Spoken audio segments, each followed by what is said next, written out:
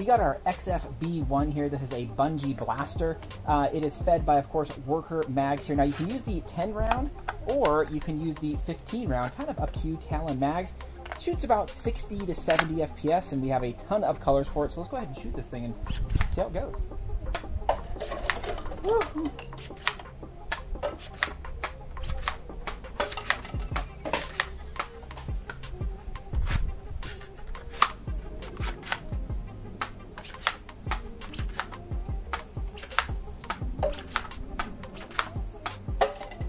So there you go, just a fun little plinker. Go ahead and check it out on our Etsy shop, and uh, yeah, there you go.